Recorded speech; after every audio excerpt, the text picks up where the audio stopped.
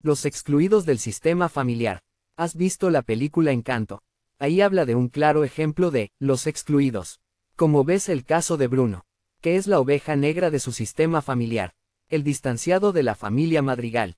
Fue excluido debido a que su don era ver las desgracias y catástrofes que iban a pasar. Por eso desapareció misteriosamente y su nombre era considerado un tabú en la familia. Y los habitantes del pueblo. Bert Ellinger mencionó, que aquel que fuese apartado o excluido, será imitado más adelante, por un descendiente sin que éste se dé cuenta. Este descendiente se siente y se comporta como el excluido, y a menudo termina como él.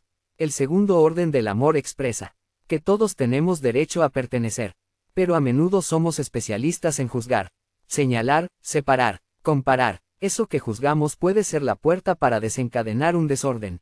Repetición del destino del excluido una enfermedad por culpas o resentimientos enquistados en el sistema familiar, adicciones para anestesiar el dolor del sistema familiar entre otros. Si revisamos nuestra historia familiar nos daremos cuenta de cuántos excluidos hay. Por eso las constelaciones familiares te ayudan a trabajar desde la humildad.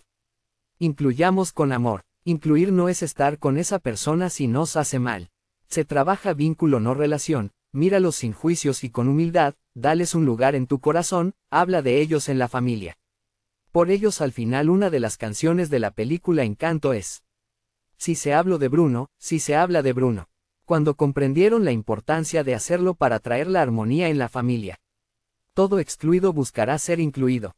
Y a veces esto se manifestará en enfermedades en las familias. Constelaciones familiares. Bert Ellinger.